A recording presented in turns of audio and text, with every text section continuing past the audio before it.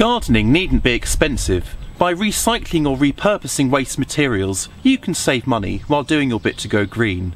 One man's trash really is another's treasure.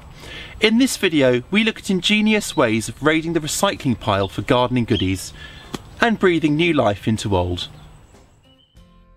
Sowing is the easiest place to start recycling. Old yoghurt pots are just the right size for this purpose. Just puncture holes into the base for drainage. Old fruit punnets make excellent miniature seed trays, while toilet roll tubes are ideal for starting off deeper rooted vegetables such as peas, beans and corn.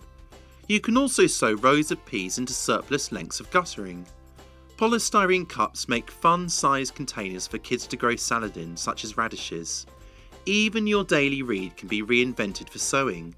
Prepare a newspaper pot by folding one page in half lengthways before rolling it around a toilet roll tube so that the tube sticks out above the folded edge of the paper.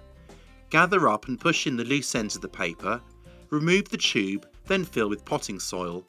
There's no need to peel away the paper pot at planting time, it will just rot away in the ground. Make your own plant labels by cutting out strips of yoghurt pot or use lollipop sticks. Write on the labels with a permanent marker. Lengths of batten give a stylish, semi-permanent label, tailor-made for marking out the ends of rows. Many plants need protection from the cold and wind as they establish. Cut clear plastic drinks bottles in half and you'll have two miniature greenhouses to pop over individual plants. Keep lids screwed on during cold nights and remove during the day to prevent the seedlings from overheating. Bubble wrap from postal deliveries makes fantastic temporary insulation on frosty nights, while polystyrene fish boxes, sourced from fish sellers and restaurants, provides a cosy microclimate around seed trays, especially combined with a heat mat at the base. Old windows form the starting point for a homemade cold frame. Attach them to a wooden frame using new or second-hand hinges, then screw in handles at the front. Slant the window to face the sun. A lick of paint will spruce up the frame and gives a really professional finish. Once in the ground, crops can be protected from pests including pigeons by draping netting over canes topped with upturned pots. Alternatively, dangle old CDs on coloured string or cover the likes of young squashes or other plants with hanging basket frames. Make a low tunnel for protecting crops by pushing down lengths of old plastic water pipe onto sturdy upright pegs to create the hoops.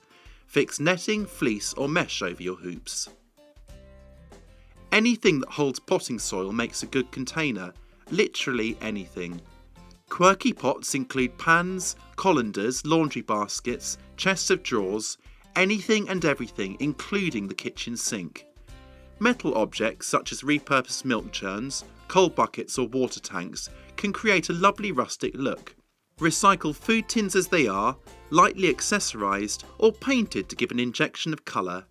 As with any pot, you will need to make sure that your intended container has enough drainage holes or add your own. Use old potting soil sacks for root veg such as carrots and potatoes, and enjoy a final crop from summer growing bags by sowing a flush of winter salads into them once your tomatoes or peppers are finished.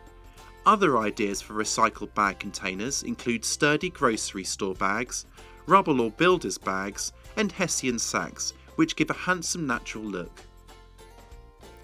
Old planks of wood are widely available. They come steeped in character, are less likely to warp than new wood, and by reusing them, you'll avoid the need to cut down more trees. Untreated wood is best, as some older wood treatments may contain toxic chemicals that can leach into the soil. Make a compost bin by nailing planks to corner posts. Create a plant stand by securing timber onto A-frames, or screw battens together to form a crop protection frame.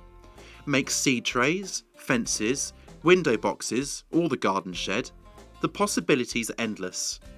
Timber makes excellent raised beds, insulating the roots and providing a handsome backdrop for your vegetables. Simply fix thick planks to each other, or screw thinner lengths of timber to corner posts, hammered into the ground to anchor the bed. Your creativity is only limited by your imagination. Any number of scraps and garden cast-offs could be assembled to create a handsome hotel for beneficial bugs. Tyres lined with garbage bags make instant raised beds and can be stacked up for vegetables such as potatoes that need lots of root space. Salvage old pavers to create stepping stones or paths between beds, or box in compost heaps with corrugated metal sheets. These are just a few ideas to make the most of materials that you might have to hand. What do you recycle in the garden? Tell us by leaving us a comment below, and the more ingenious the better. And why not subscribe to enjoy more great gardening videos?